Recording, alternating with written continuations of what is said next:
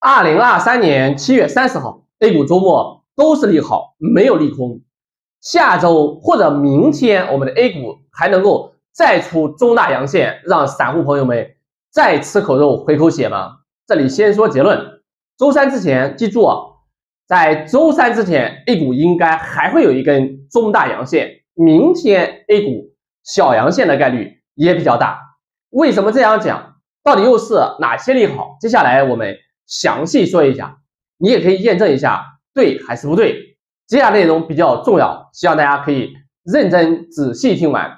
首先，A 股我们最近一直看涨的还好，被老师蒙对了啊，总体还是可以给简章老师点个赞的。最起码在股市极弱、咸鱼下跌的时候，我们还是坚定看涨的。我们上半年股市看震荡，下半年股市看上涨。在讲到中大阳线的时候，讲到了大阳线看三天。你看上一次。出一根大阳线，简老师讲，等周四周五，周四周五假如多头强，那周四周五就应该出大阳线，结果出来了。同样的道理，周五出个大阳线，到下周三之前还是看三天，这是超短线，资金主要就是看这些超短线，因为现在呢还是属于什么？还是属于一个朦胧阶段。这个朦胧体现在什么呢？体现在你看。这个 A 股冲上了热搜，这个 A 股冲上热搜是涨上热搜啊，大家可以看一下啊，呃，你看这个什么杨洋、王楚然、魏大勋破好六六播放记录，呃，然后呢就是热搜榜，热搜榜这个第二十四名 A 股，这个是五万两千一百七十九的热度啊，五万两千一百七十九的热度，也就是热，就是 A 股啊，在连续两个大阳线过之后，A 股已经冲上热搜了。那么冲上热搜过了之后的结果是什么？冲上热搜的结果就是涨一天，散户绝对不可能是假象啊！但是涨到第二天的时候，散户难道要变盘了？这就是 A 股现在目前的情况。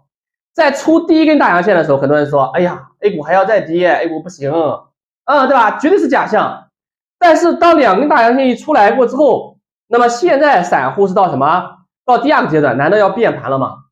散户在犹豫中，他就不会变，他就不会说不行啊，他他就不会说下跌，因为散户还没有进场啊，散户还有很多子弹在后面，比如说这个周末 A 股已经冲上热搜了啊，五万多的热度，那冲上热搜总会有一些对吧过来接盘的人啊，是不是？所以说呢，才只是到第二个阶段，A 股什么时候见顶？要到六根大阳线啊，涨三天，散户们要买一点试试，比如说呃周三之前再出一根中大阳线。那散户就可能要买一点试试了。等到涨到第六天，散户老板我不干了，这破工资太少了，这就是 A 股见顶之时。因为国家也不允许大家都不工作都来炒股，对不对？所以说呢，A 股目前来看呢，没有问题啊，处于第二个阶段，散户还在犹豫中，还在迷茫中，而且叠加 A 股冲上热搜，这个后面的子弹还有，后面的这个散户还要跑步入场，所以短时间内啊下不去。周末的利好呢，就是美股，美股总体涨幅还是比较好的。呃，这个美股涨幅比较好呢，体现在两方面，一个是美国的中概股，纳斯达克金融指数大涨啊，纳斯达克金融指数大涨过之后呢，连港股现在也进入技术性牛市了。嗯，在美国上市的中概股呢，全线狂飙啊，可以说是盛宴，什么小鹏汽车、理想汽车、为车，很多从底部都是翻倍了的啊。我们 A 股的新能源还没怎么动。那么美国的科技股大涨呢，对于我们周一的科技股是好事，因为大金融涨过了，大消费涨过了，那大科技还没有涨呀，总得要有一个大科技带领的 A 股的这个强劲大反弹，对不对啊？美股大涨过之后，新加坡富时 A 五零涨幅是零点六几个点，所以说周一呢，A 股是啊值得期待的。再讲一下其他几个利好，其他几个利好呢，就是周末啊，周末呢这个要要要要开会了，对吧？开会了，嗯。呃，召集头部券商开会，就活跃资本市场及提振投资者信心，征求意见。看到没有啊？就是头部券商怎么怎么样活跃资本市场，怎么样这个提振投资者信心呢？征求意见。那既然征求意见，过两天就应该有实质性的这个措施了，对吧？过两天就应该有实质性的措施了。呃，那么那么短期的测试呢，有一些什么啊？比如说呃，补齐监管漏洞，对吧？要规范离婚等。绕道减持，这也算是建言献策的一种，对不对？这也算是补齐漏洞啊。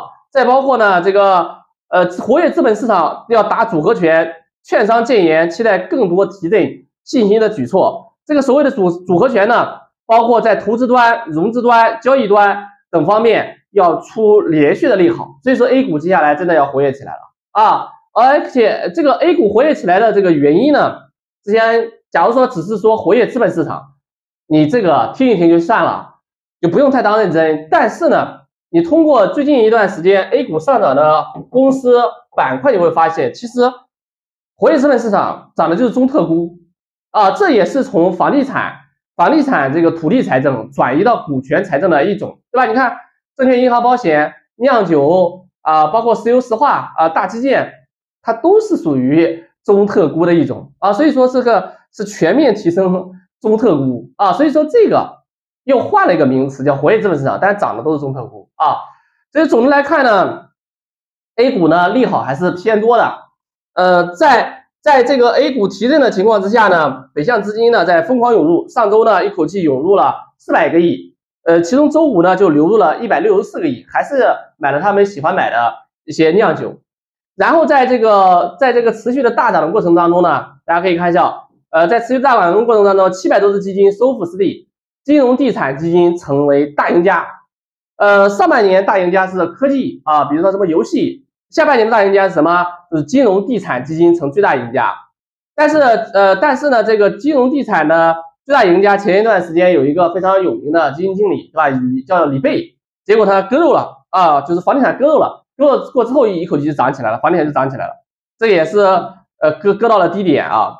那么总的来看呢，都是一些利好啊，而且房地产最大的问题，房刚才讲到的房地产基金和金融的基金，那么房地产的基金呢，这里呢还有一个东西啊，叫做这个合肥，对吧？合肥合肥为避免公摊面积比例过大，呃，要积极探索商品房售呃销售按照套内面积计算，这个厉害了啊！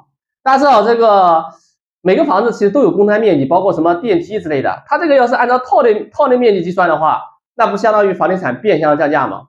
啊，所以说房地产呢，它肯定是有这个方面的各种各种各种各样的利好啊，各种各样的利好。房地产应该也是啊，要筑底了。我们对房地产要求就是说，不要拖累经济就行了。你不不指望房地产能够促进经济增长，但是不要拖累经济增长就可以了啊。合肥作为这个。霸都确实很牛，都都这还是第一次按照套内面积计算，这属于属于变相降价。当然了，这个只是探索阶段，不是说最后就一定能够形成。那么目前呢，我们国家的公募基金呢，现在属于呃公募基金的发行份额是比较少的。截止到二零二三年的七月，你看这个基金啊发行份额已经相当于没有了啊，相当于没有过之后呢，未来都是好的，都因为它已经跌到低点了，你考试都考零蛋了。那未来随便考一点，那也是属于上升阶段。所以说呢，对于未来一旦基金发行顺畅过之后，又源源不断的子弹了。源源不断的子弹过之后，那么 A 股就具备上行的能力了。最关键是目前这个老美啊加息已经结束，对吧？老美加息结束过之后，我们的我们这个人民币汇率，对吧？未来只有可能升值，不太可能降值，对吧？因为老美到时候还要。还要降息啊！老美一降息，老美一降息，人民币汇率升值，人民币汇率升值，A 股好日子就来了。所以说这一波牛市，希望大家都不要错过。从大结构上来看，我们的股市已经好多年都没有涨了，真的。二零一四年和一五年呢，当时老师还在的。嗯，你要算从一五年到现在为止，哦，我们股市已经整整八年没怎么涨了啊，已经整整八年的。时间没有怎么涨了，那么八年的时间没有怎么怎么涨，这一波飙起来，那还是啊非常非常值得期待的。主要的方向呢，还是以中特估为首的什么大金融啊、大大消费。我们下半年主攻的是大消费和大金融，上半年涨的主要是大科技，下半年主要是大金融和大消费。其中，券商板块呢，可能将来还是一个比较重要的重点。这里呢，就要讲一下这个股市啊炒作的几个阶段。第一个阶段呢，就是上涨，就大家都涨，然后呢再进入分化啊。那目前的券商还没有进入第二个阶段，就是分化啊。比如说这个券商现在都在涨，那过两天你看，哎，有些券商在涨，有些券商在跌，那其实可能就要收尾了。然后到有一天券商集体大跌，那基本上就差不多了。但是呢，这个券商板块呢，它就算见顶，你看在历史上见顶它也要震好长时间，看到没有？见顶的话它也要震非常非常长的时间，看到没有？每一次见顶它要震荡的时间啊非常非常久，想一下子完全见顶的可能性啊并不是很大。但这一次的券商上涨比前几次呢，它的这个可靠性更高更大一点。所以说我们接下来呢，重点一个酿酒，一个是券商、大消费和大金融。下半年的行情还是非常值得期待的。假如说你把握不好，可以来多听一听直播。直播时间呢是每天早上九点十五到十点半，下午是一点到三点，晚上呢是八点半。最后不要忘记点赞点关注。